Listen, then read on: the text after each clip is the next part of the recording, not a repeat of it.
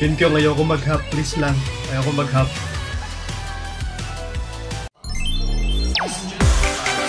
Yeah.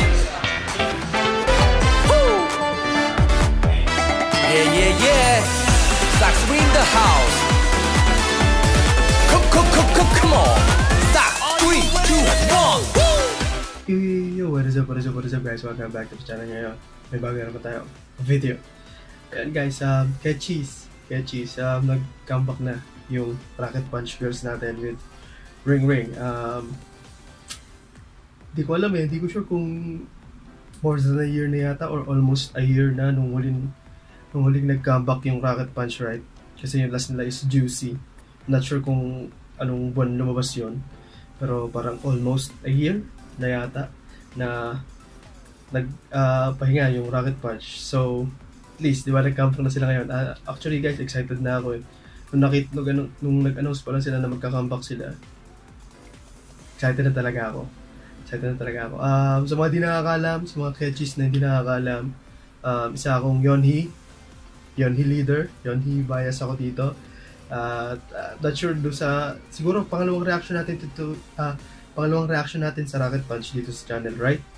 Correct me if I'm wrong, pero parang isang, isang ano pa lang ata yung, hindi ko alam kung cover yun or kanta talaga nila yun, basta parang dance choreography video yung huli nating react dito sa Rocket Punch. Tapos parang sinabi ko na na medyo naghahapaw kay Yun Kyung. Pero hindi ako sure. Parang, ko, nung nakita ko kasi yung mga teaser images na in-upload nila sa um, Instagram nila, ang ganda ni Yonhi. Ang, ang ganda nila lahat, pero si Yonhi. Tapos si Yun Kyung short hair. Si Yun Kyung short hair. Come on. Cheat code. Anyway, um, tignan natin guys kung ano tong Ring Ring. Uh, Tapos pag nagka-time tayo, mapakinggan ko rin yung single album. May tat- tatlo yata yung tracks nila, including to. Not sure, parang mga tatlo yata or four. Hindi ko na matalala. Pero, yun, um, catchy, sana ma-appreciate ito pag ako dito sa Ring Ring ng Rocket Punch. Tignan natin to. Excited na ako, guys. Hindi natin patagalin pa. 3, 2, 1. Let's get it.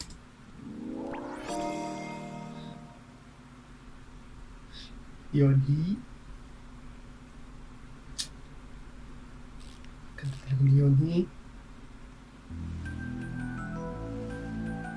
Suyun, Sohi, Dayon, Yunkyong, Juri.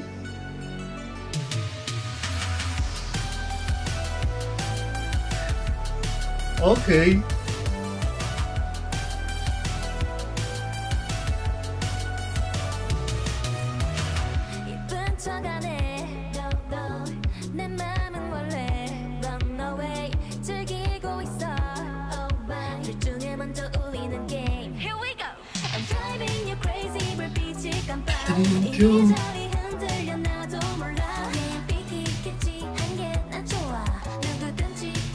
Get it Um, ano bang sabi ko guys? Um, new concept. New concept kasi parang yung last nila is yung juicy nga is pang summer, di ba? Kasi parang summer yata direction. Kasi to, to guys, um, 80s, 90s vibe. Okay. Suyun.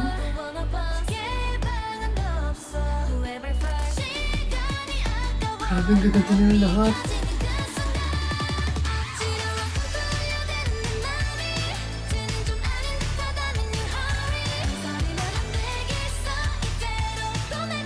Yun ko, ayoko mag-hop. Please lang. Ayoko mag-hop. Ano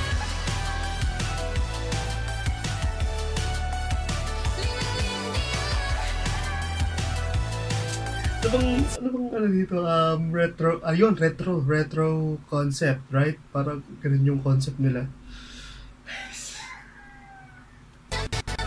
Nice. Jury.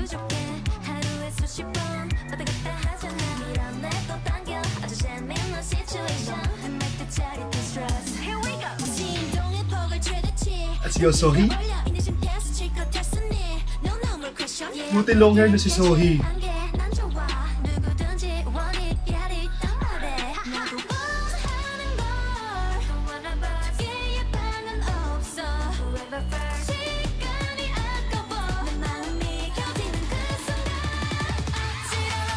May pagkindat, so yun.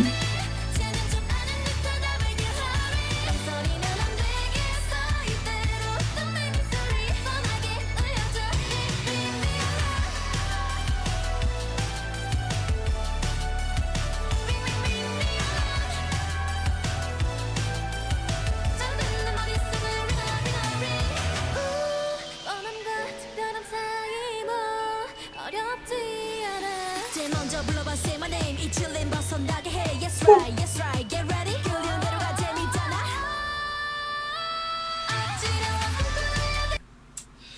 Guys, di na ako, mag, di na ako nagtataka sa mga ganun ni Suyun, pero every time na napa- naririnig ko yung mga high notes ni Suyun,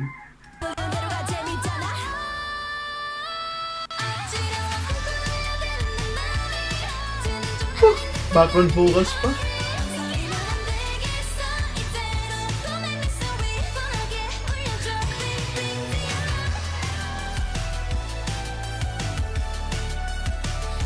Feeling ko ito yung pinaka-favorite part ko sa kanta.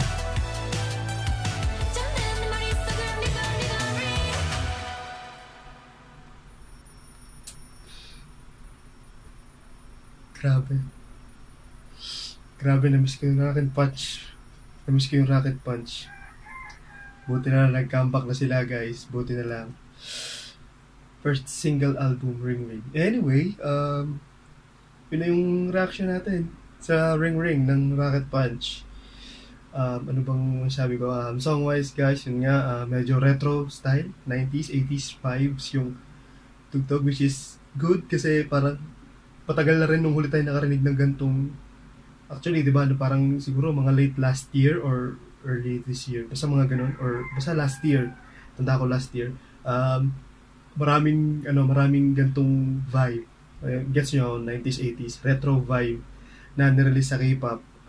Um, hindi naman lahat, pero marami akong napakinggan na ganun yung ganun yung mga title tracks, yung mga nirelease ng mga ibang grupo, right? Tapos ito, nag uh, the Kabaki Rocket Punch, parang parang this year, parang siguro sila pa lang yung napa, naririnig ko na ganito yung um, sila pa lang yung this year ha, this year, sila pa lang yung na, narinig ko na ganito yung vibe. Which is good. Um, actually, ah ano pa ba masabi ko? Um, sobrang trip ko yung kanta, guys. Sobrang trip ko yung kanta. Tapos si um, visuals nila. It's over sa visuals nila. Buti na lang, buti na lang. Um, lagi ko nakikita si Yonhee. Kasi, uh, close to hopping na ako kay Yun. Close to hopping. Anyway, um, excited ako sa uh, music show performance na to, sa mga live performances. Um, sobrang excited talaga ako. Nakaka-miss na. Na-miss ko talaga yung Rocket Punch. Totoo lang. Anyway, um, yun na yun, Kechi. Sana na-appreciate yung pag dito. Uh, patuloy natin sila supportahan. Supportahan natin yung mga performance nila. Tsaka iba pang schedule nila. Excited. Basta guys, gusto ko nang gusto ko nang makapanood ng mga live performance ulit ng Rocket Punch. Um, kaya magalala, pag nagka-time nga tayo, i-check natin yung single album nila na Ring Ring. And yun, yun lang guys. Uh, si, basta abang na lang tayo. For sure, marami pa silang i-upload na content sa YouTube channel na ano. So, baka may mga, may pag nagka-time tayo, mag-react tayo sa iba doon. Anyway, um, yun na lang. Kay Cheese, um, salamat ulit. Ulitin ko, supportahan natin ang Rocket Punch. Supportahan natin sila guys. Uh, yun na lang. Salamat sa pagtambay. Huwag niyo kalimutan mag-like. Tapos comment niyo sa baba. May request kayo. May gusto ko sabihin. Comment lang sa baba. Tapos share niyo rin yung video. Yung channel natin guys. Tapos, subscribe na kayo. Para sa... Yan guys, maraming maraming salamat ulit. Kita tayo sa mga susunod na video. Annyeong. Peace.